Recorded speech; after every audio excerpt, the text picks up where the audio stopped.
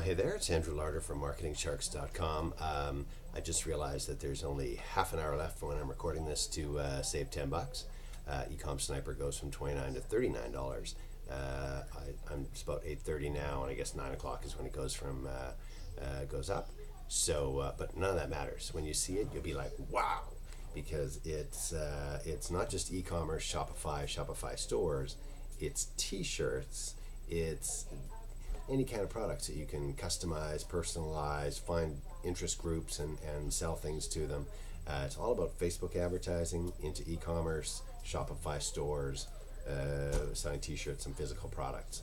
And uh, the guy's shows income of uh, 230,000 odd dollars, so obviously he knows what he's doing. Some great raving reviews from, from uh, students, which is really what you care about because, great, he's making money, and as you said, he's just, an, just a guy. Uh, no special knowledge needed to uh, to do this kind of thing, and the students are having some great results too. He talks about how easy it is to make 300 bucks a day. So, uh, do you care if it's 29 or 39 bucks? Well, you're probably watching this video after. it's 39 bucks. Too late. It's 39 bucks now.